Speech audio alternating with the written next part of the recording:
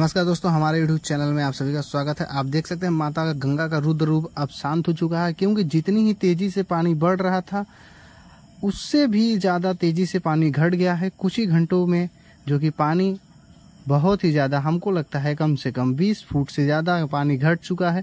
आप देख सकते हैं यहाँ पे पाँच स्तंभ बने हुए थे, जो कि सीढ़ियों के ऊपर आपको पाँचों दिखाई दे रहे हैं। उस टाइम जब पानी बढ़ रहा था तो वो जो नीचे के तीन पिलर है, वो डूब चुके थे।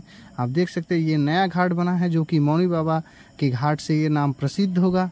इसका, आप देखिए कितना ही सुंदर बना है ये घाट। आप देखिए, वहाँ पे मौनी बाबा जी का आश्रम है। चलिए आज उनका भी आपको दर्शन कराएँगे। आप हमारे वीडियो में बने रहिए।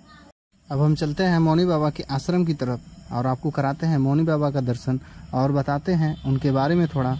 और उनसे के बाद एक उनके शिष्य थे, जो परम पूजनी महाराज श्री ब्रह्मचारी जी थे, जिनका अब देहांत हो चुका है, जो कि चौदह तारीख बारहवा महीना 2022 को हुआ था। दिन बुधवार था। ऐसे ही समस्या की घड़ी उत्पन्न हुई और वो इस दुनिया को छोड़ के अलविदा कह के चले गए।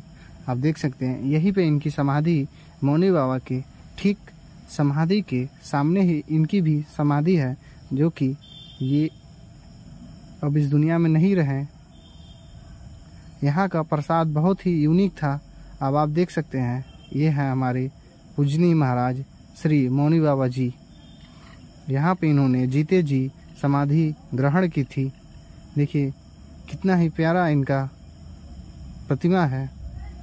वीडियो अच्छी लगे तो वीडियो को लाइक करें, कमेंट में जय मोनी बाबा ज़रूर लिखें। आपकी मनोकामना पूर्ण होगी। मिलते हैं नेक्स्ट वीडियो में। तब तक के लिए बाय। जय हिंद।